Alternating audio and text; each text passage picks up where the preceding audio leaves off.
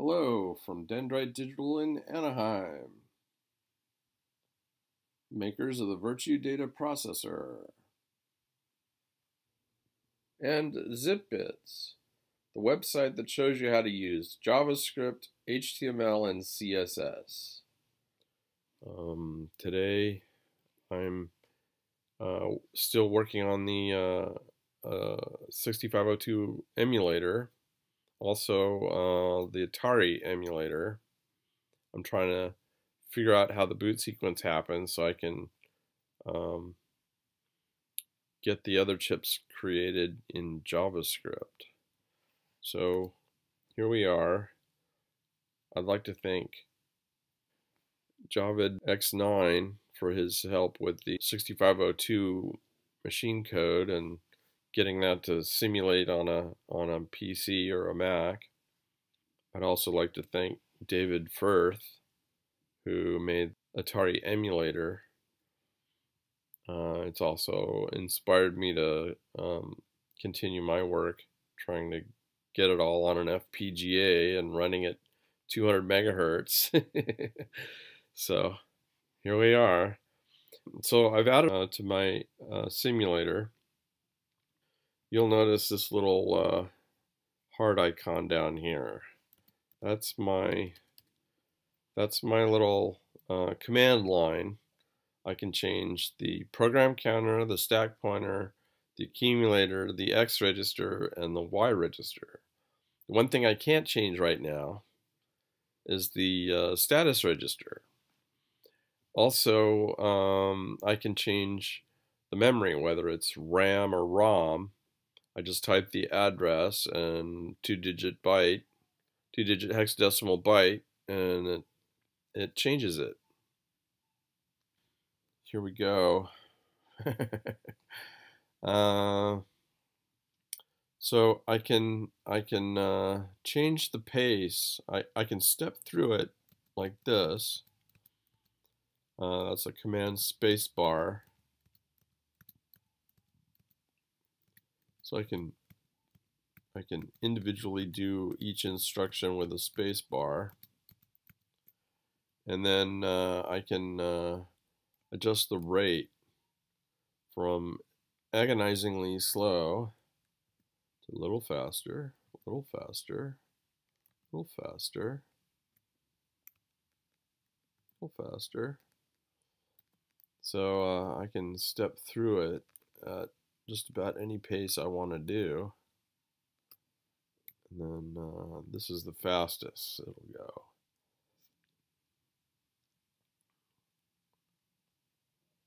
And then to stop it, I just command space and it starts over. Mm. So now it's uh, initializing the RAM. And uh, let's see what's going on here. So it's it's uh, checking, uh, comparing y to 0. So that's something we could do.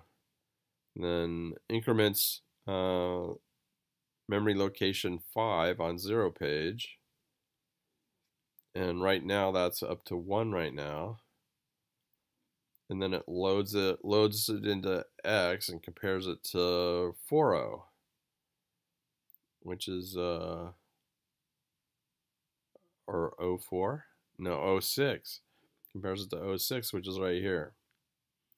And uh, so if we change uh, 0005 to um, what? Uh, 9a we got we'll get there right away here. And then uh, want to change the y. y equals, let's do f0 just to do things right here. So, and uh, if we start it moving, a little faster maybe.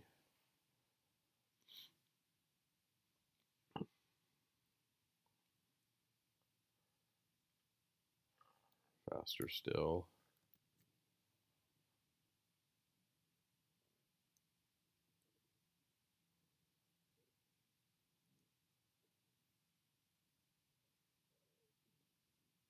Here we go. Oh. Hmm, looks like 9F is where we should be.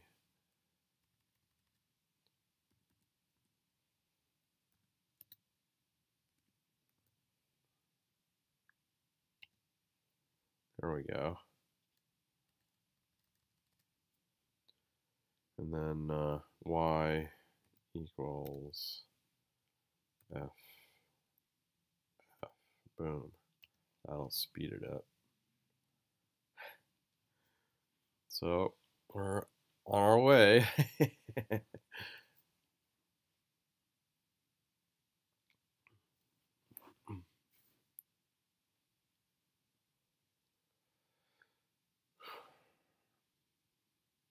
So clearing uh, page two,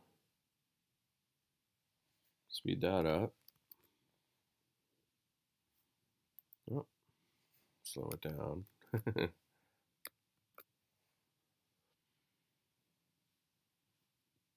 it's pretty boring anyway. It just uh, does a pattern of uh, initializations.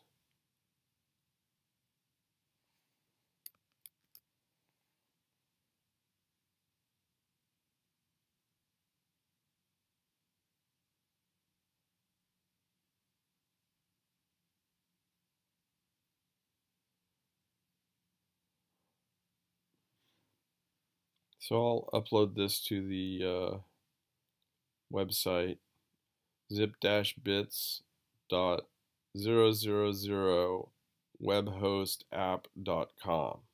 If you can make heads or tails of that. I'll put a link in the in the uh,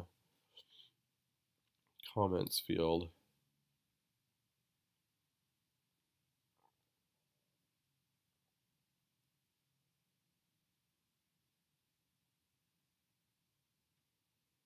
Is a lot of jumping around in this operating system. I guess to make it compact, you gotta gotta have lots of subroutines.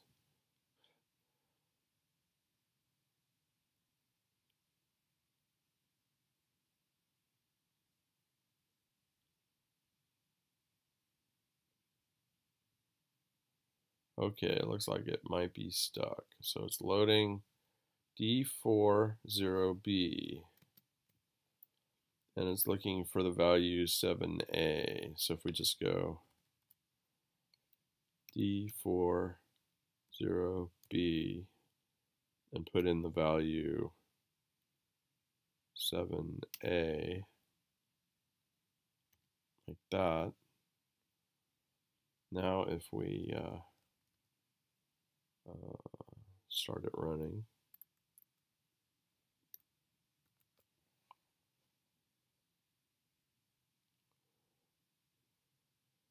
starts doing something new.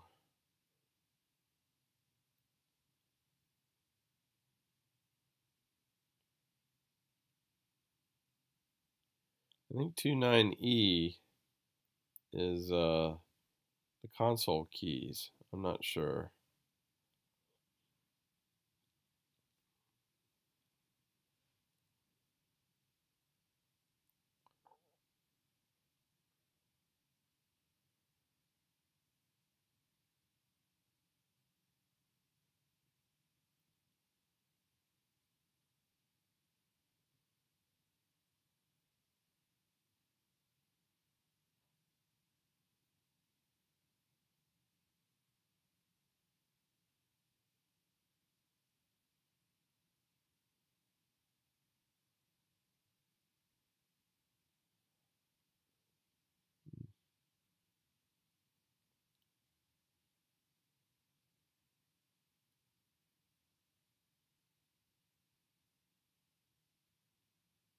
Maybe I ought to put a little music in the background. yeah.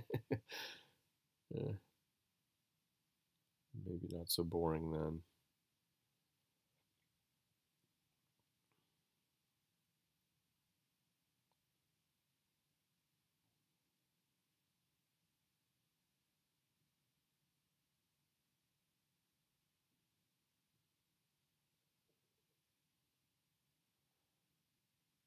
29E again.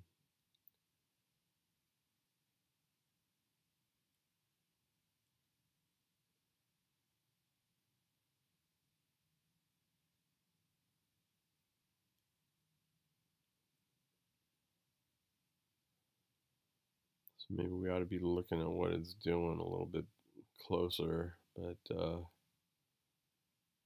seems to have a variety of things that it's up to.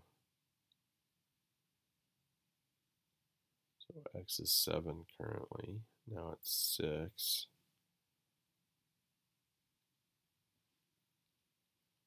Five.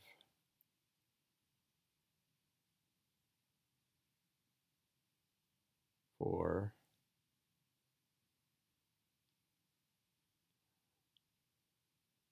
three. I just assume let it let it do its thing because uh, who knows where it's going, what it's up to. So maybe if we get to x equals zero, it's going to do something different.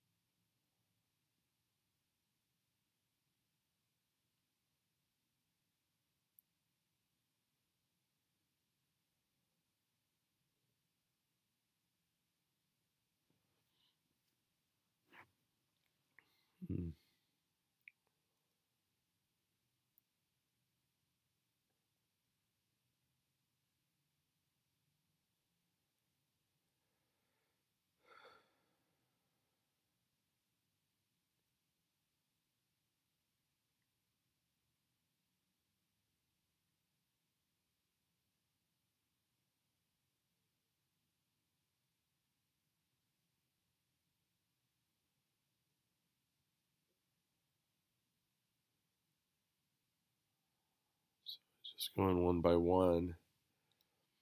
So uh, I think it goes from 9C40 all the way to 9FFF. And then it starts trying to write zeros over the uh, ROM cartridge, the basic ROM. So I don't know what that's about, but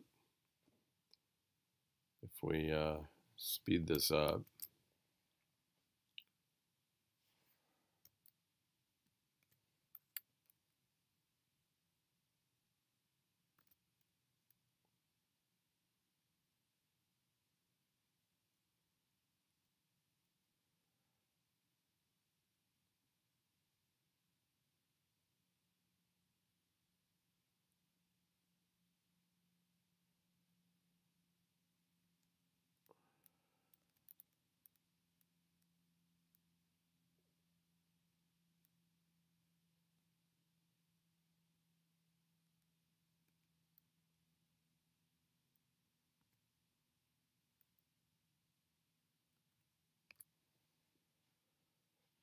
So now it's into the cartridge and it's uh,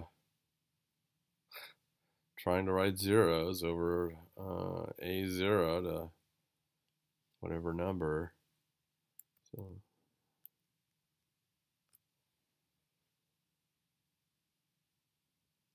comparing it to BF. it's trying to write zeros over all of that.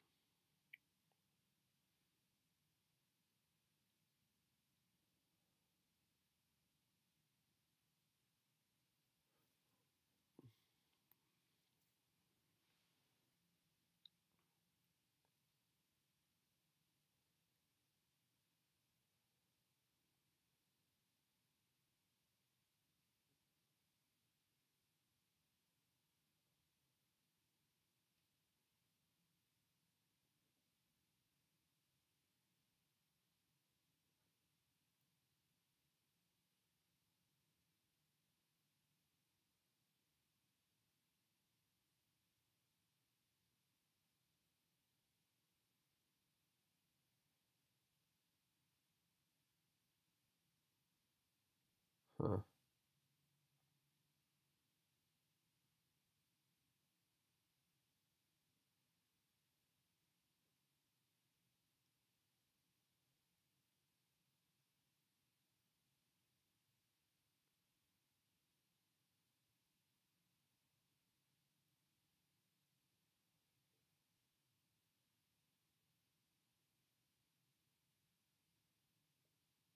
Pretty complicated initialization procedure just to just to come online. I suppose all the hardware needs some pretty specific things going on.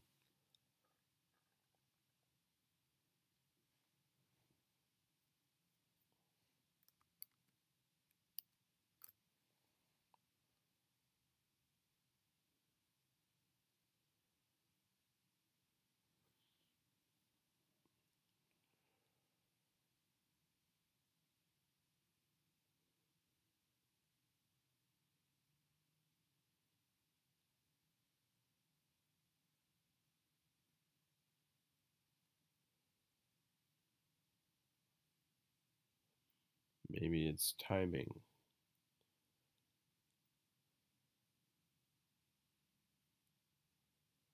Maybe it's just got to time it right, otherwise it fouls up. So y is going up by 1, and then as long as it's less than 80, it uh, continues. So uh, y equals 7f, let's say.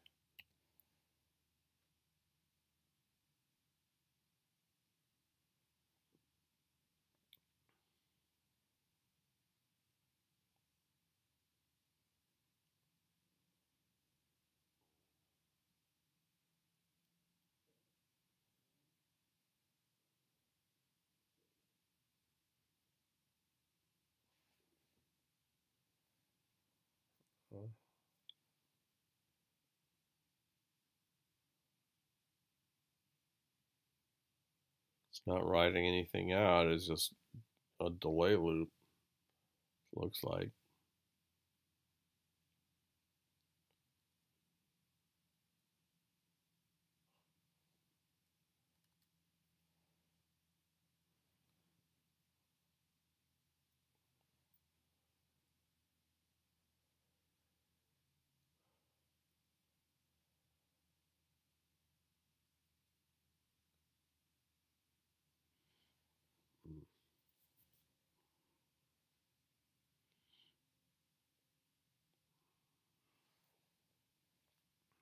Y equals what?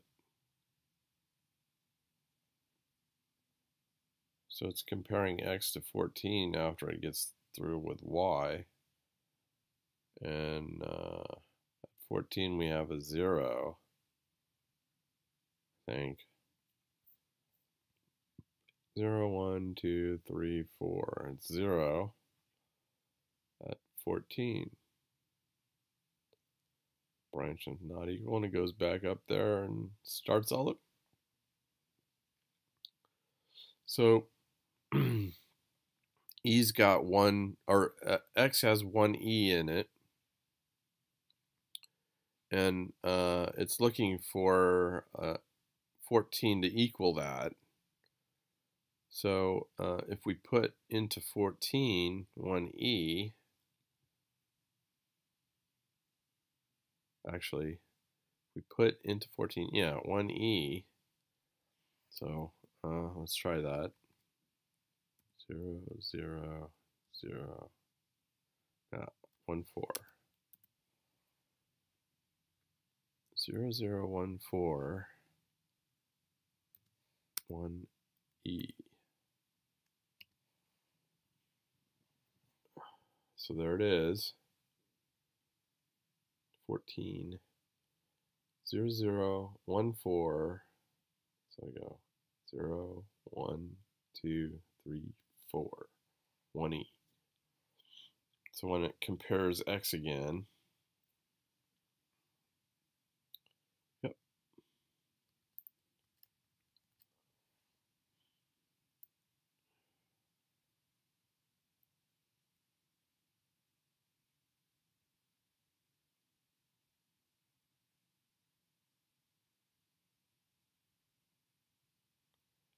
So now what is it doing? Huh. Compared to FF.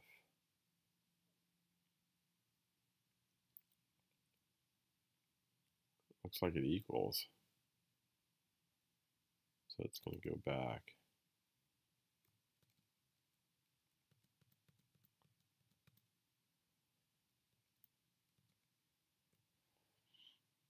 Load A with 2A. Uh,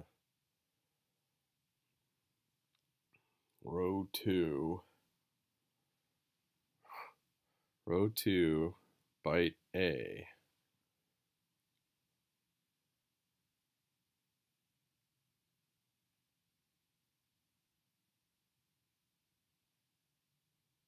Branch of carry set to 49. Well, I'm just going to let it run a little bit at high speed, see if it does anything new. Doesn't look like it. But uh, here it is. It's uh, looking at 2FC. And that's the keyboard right here. Uh, load A with 2FC. If we look at the uh, programmer's card, here's 2FC, and it says keyboard code. So it's waiting for a key. You could manually poke in uh, uh, a basic command, maybe, and then hit the return and uh, have it have it do something.